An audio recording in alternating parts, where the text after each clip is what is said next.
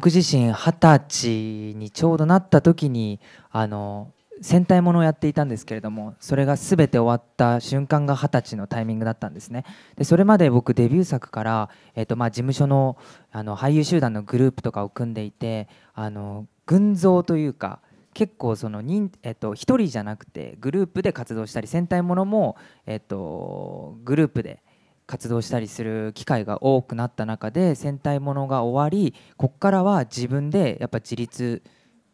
しなきゃいけないな周りに支えてもらえるだけじゃなくて自分自身いろんなものにこう責任を負って自分の選択っていうものも求められてくる時期だなっていうことで結構やっぱり二十歳の瞬間はまあさっき岡田君も言ってましたけどあの役者をやらせていただくためにあのこうなんだろうそれまでこういろいろ経験させてもらった中で役者をやりたいんだっていう気持ちになれた瞬間というかこっからが勝負だっていうのでもうそこから走り始めるんだっていうその区切りになったっていうのがとても印象深いですね。二十歳の時は、えー、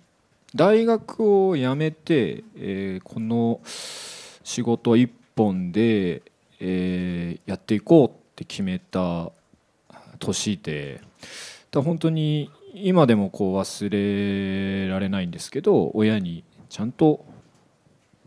ちょっと学校を辞めて役者でやっていきたいっていうのを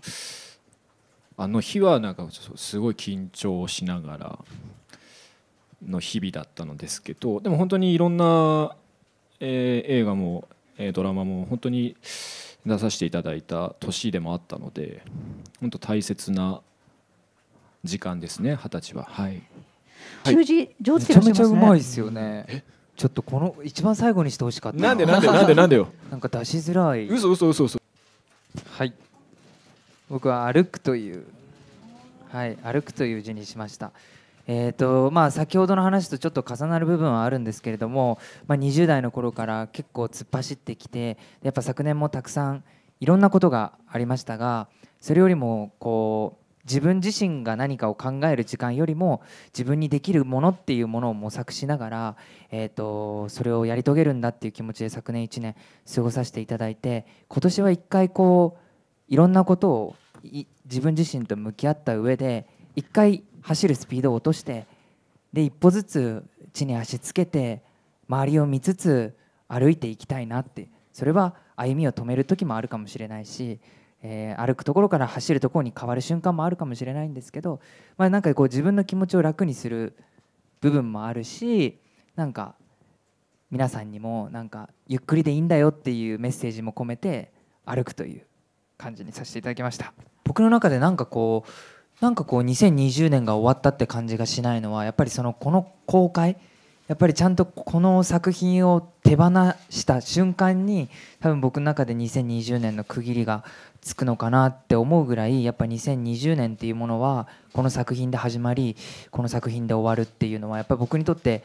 ねやっぱりその状況的にいろんなことがありましたけどそれをこのチームのメンバーだったりこの作品と共に歩んできたっていうそういった点ではやっぱりこの作品は僕にとっては、えーまあ、とても熱量もあり思い入れも深いような作品なのでこれを無事に手放せることを、えー、願いながら日々をあのしっかり生活していきたいなっていうふうに感じてますね。い